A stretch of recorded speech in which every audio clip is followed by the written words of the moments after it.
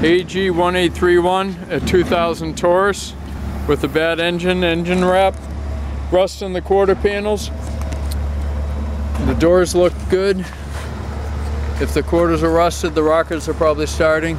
This is a 24 valve dual overhead cam. 3 liter, this car does have traction control, so it has ABS. It's got a good grill, bumper cover looks okay with some paint scratches, but it would hang complete. Headlights are dull. The engine has a rap, you can't hear it right now. Chafe on the fender. Mirrors look good, chafe on both doors. Not a lot of damage that might polish, but glass is good. Wheels are bright. Little edge corrosion. Dent in the quarter right here.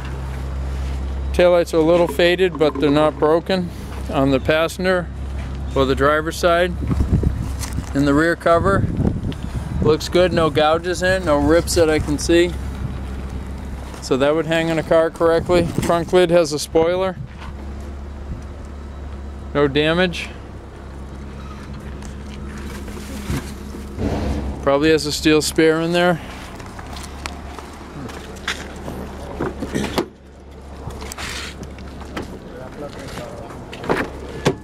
Back seat is very nice. It is a 60-40 fold down to the trunk. Like I said, it's a traction controlled car. There's a leather interior car. The door panel is right there, piece to fix the door panel. Driver's window up, passenger window down, up, down, up for the right rear, down, up.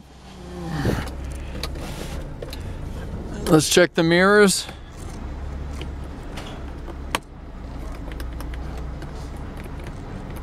It's complete doesn't seem to respond. Sometimes they're stubborn.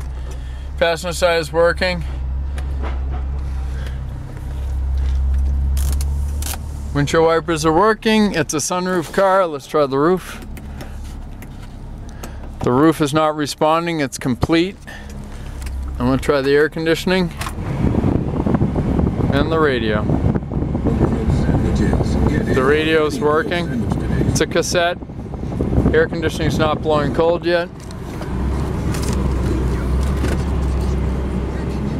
Transmission engages smoothly. This car has 119,000 on the clock.